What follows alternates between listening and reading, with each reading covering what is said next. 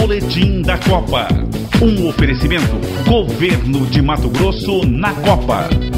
As obras de duplicação da rodovia Mário Andreasa, da ponte sobre o rio Cuiabá, duplicação da estrada da Guarita e da ponte sobre o rio Pari tiveram os serviços intensificados após o período chuvoso. Os trabalhos de pavimentação tiveram início nas cabeceiras das duas novas pontes edificadas na região. Estas duas frentes de trabalho, Corredor Mário Andreasa e em torno da Arena Pantanal, fazem parte do plano B de locomoção entre Aeroporto Arena e Aeroporto Rede Hoteleira, além de facilitar o acesso de quem vem das regiões Norte, Nordeste e Noroeste de Mato Grosso em direção à capital.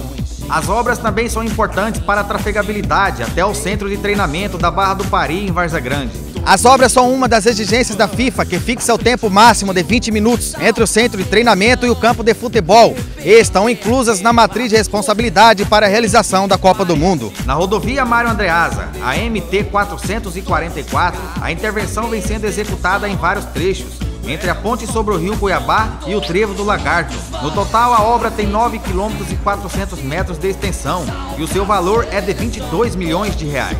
Já a duplicação da Estrada da Guarita, que liga o entroncamento da Avenida Ulisses Pompeu de Campos e a localidade da Passagem da Conceição, os trabalhos ganham ritmos e evoluem com o asfaltamento da via. A obra tem 8 quilômetros de extensão e está estimada em 29 milhões de reais. A previsão é de que os dois conjuntos em execução sejam concluídos no segundo semestre deste ano. Um investimento do governo do estado que ficará como um legado para a cidade. Boletim da Copa.